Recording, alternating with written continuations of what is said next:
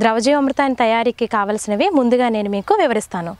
రెండు వందల లీటర్ల ద్రవజీవామృతం తయారు చేసుకోవడానికి కావలసిన పదార్థాలు. పది కేజీల దేశీయావు పేడ పది లీటర్ల దేశీయావు మూత్రం రెండు కేజీల నల్ల బెల్లం రెండు కేజీల పప్పు దినుసుల పిండి పిడికెడు పుట్టమట్టి లేదా గట్టుమట్టి. వీటితో పాటు రెండు వందల లీటర్ల నీరు ఒక గోనె సంచి ఒక కర్ర కావాలి. వీటన్నిటితో ద్రవజీవామృతం ఎలా తయారు చేయాలో చేస్తూ మీకు వివరిస్తాను. ముందుగా పది కేజీల దేశీయ ఆవు పేడను రెండు వందల లీటర్ల నీటిలో బాగా కలియబెట్టాలి. ఈ నీటిలో ఈ దేశీయ ఆవు పేడని ఎందుకు కలుపుకున్నామంటే ఈ దేశీయ ఆవు పేడలో భూమి నుండి మొక్కకు పోషకాలను అందించే సూక్ష్మ పోషకాల బ్యాక్టీరియా సమృద్ధిగా ఉంటాయి. ఇప్పుడు ఈ పది లీటర్ల దేశీయ ఆవు మూత్రాన్ని కూడా ఇందులో కలుపుకుందాం.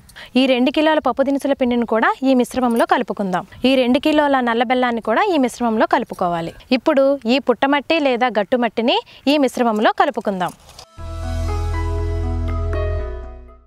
ఈ మిశ్రమాన్ని గోనె సంచితో కప్పి ఉంచి నాలుగు రోజుల పాటు నీడ ప్రదేశంలో మురగబెట్టాలి.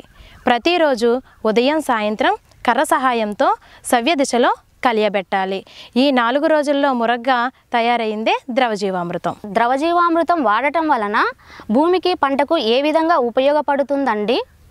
దేశీయ ఆవు పేడలో భూమి నుండి మొక్కకు పోషకాలను అందించే బ్యాక్టీరియా సమృద్ధిగా ఉంటాయి.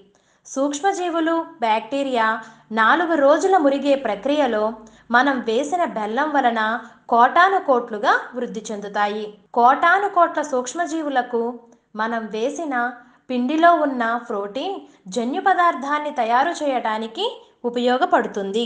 ఈ కోటాను కోట్ల సూక్ష్మజీవులు ఉన్న ద్రవజీవామృతాన్ని నేలకు అందివ్వటం వల్ల నేలలో ఉన్న సేంద్రియ పదార్థంలో మొక్క తీసుకోలేని స్థితిలో ఉన్న పోషకాలను సూక్ష్మజీవులు తమ చర్యల ద్వారా మొక్క తీసుకునే స్థితిలోనికి మార్చి వేర్ల ద్వారా మొక్కకు పోషకాలను అందిస్తాయి. ద్రవజీవామృతాన్ని క్రమం తప్పకుండా నేలలో ఉపయోగించినట్లయితే వానపాముల సంఖ్య పెరిగి భూమి గుల్లబారుతుంది.